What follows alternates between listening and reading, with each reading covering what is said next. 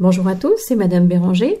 Je vais vous parler aujourd'hui du brevet, je vais vous faire une petite présentation générale et puis ensuite on parlera un petit peu plus en détail de l'oral.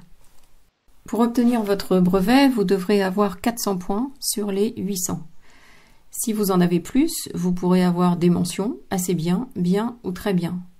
L'épreuve est divisée en deux parties, le contrôle continu qui concerne le cycle 4 des classes de 5e, 4e, 3e, puis les épreuves du mois de juin, l'oral compris. On va d'abord parler du contrôle continu. Donc ça concerne le cycle 4 de la cinquième à la troisième. En fait, on a réparti 8 compétences qu'on peut évaluer chacune sur 50 points maximum. 50 points correspondant à une très bonne maîtrise. Le moins que vous puissiez avoir dans chacun de ces 8 domaines, c'est 10 points. On estime à ce moment-là que la maîtrise est insuffisante, mais on ne met pas zéro parce qu'on estime que vous savez toujours faire quelque chose, un minimum, dans un domaine. Il y en a 8, cela dit, vous pouvez constater qu'ils sont numérotés que jusqu'à 5, parce que dans le premier, il y en a 4. Vous pouvez obtenir 50 points dans un domaine, mais 40 dans un autre, 25 ou 10 tout simplement. On va faire le cumul dans ces 8 domaines et ça va vous donner un total sur 400.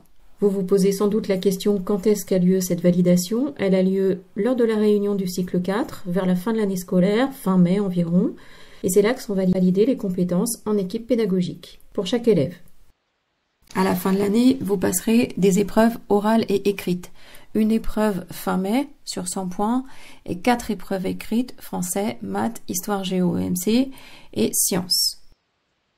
Si vous avez suivi une option au collège, LCE, LCA ou chorale, vous pourrez obtenir en plus 10 points ou 20 points, selon si les objectifs sont atteints ou bien dépassés. On va détailler un petit peu plus maintenant l'épreuve orale. Vous devrez pour cela choisir fin avril un sujet de pays, un parcours ou une œuvre d'histoire des arts que vous aurez étudié. On y reviendra un petit peu plus tard dans l'exposé. Vous pouvez remarquer que vous pouvez passer seul ou à deux jusqu'à trois maximum. Nous, au collège, on ne conseille pas de passer à deux ou trois parce qu'il y a toujours des problèmes de gestion du temps et de prise de parole. Mais vous pouvez voir que l'entretien n'est pas le même, le minutage n'est pas le même si vous êtes seul ou en collectif. Le jury est composé de deux professeurs du collège. Sur Arsène, dans l'espace classe, vous avez un dossier qui s'appelle Oral du DNB, où figure une feuille qui s'appelle Engagement. Cette feuille est à rendre, elle est importante, c'est en fait votre choix de sujet.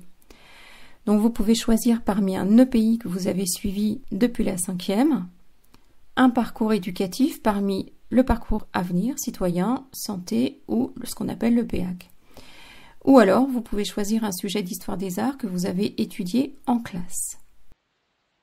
Comment allez-vous traiter votre sujet? Eh bien, tout simplement sous forme d'exposé, soit en français, soit une partie peut être en langue étrangère, selon votre choix de sujet.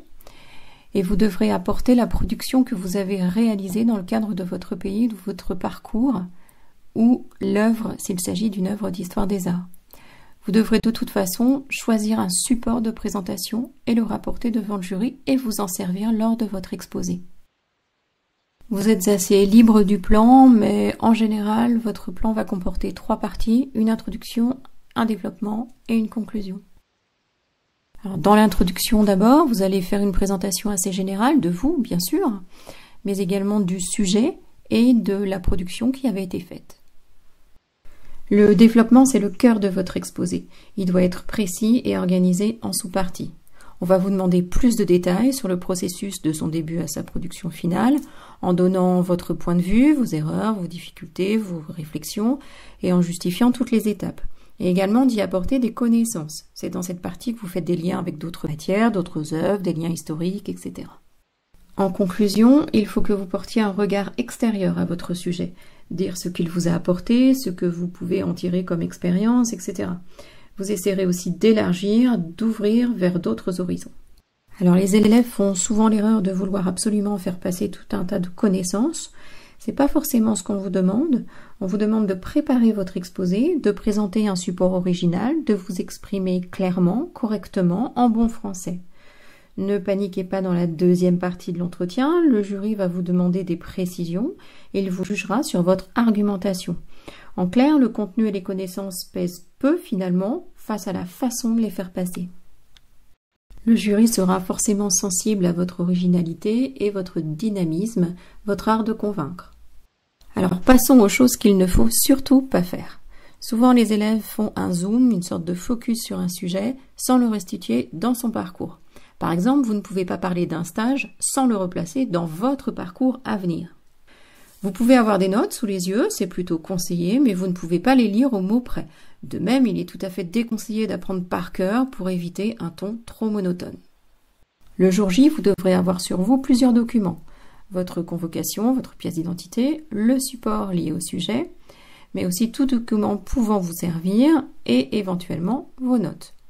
Soyez à l'heure, prenez une marge, cela vous évitera de stresser. Prenez aussi une petite bouteille d'eau, ça vous permettra de boire une gorgée avant de passer. Passons maintenant au calendrier. Vous pouvez constater qu'il y a deux dates en rouge, la date d'oral bien entendu, mais également le retour des sujets.